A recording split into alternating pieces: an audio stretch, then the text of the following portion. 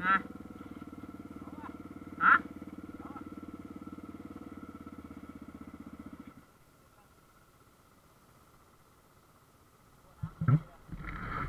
กลับแวะทางนี้ก็ได้แล้วลงไปถ่ายรูปเล่นในน้ำเอารถจอดไว้แล้วเขียนเล่นโชว์ไงแบบสร้างกายศักยภาพว่าลอยดีว่ะฮะรูดอย่างเดียวเลยใช่มาอย่างเดียวเลยตอนนั้นสร้างกับศักยภาพในการใช่ก็รถอะในบรรดารถ ไอช่วงล่างดีสุดคือฮะช่ช่วงล่างที่เบาติดดับฟังได้ช่วงล่างที่ดีสุดอะพี่ยศก็เรียงให้ฟังซูซูกิอะดีสุด DR DGBL อะและอันดับสองคือ TTR อันดับสามคือ XR พวก XR พวก XLR ช่วงล่างดี แล้วก็สุดท้ายคือ Zero Zero หมดสุดเออจะ DR กับ Decibel อะเขาชอบบอกว่าไฟมันชอบมีปัญหา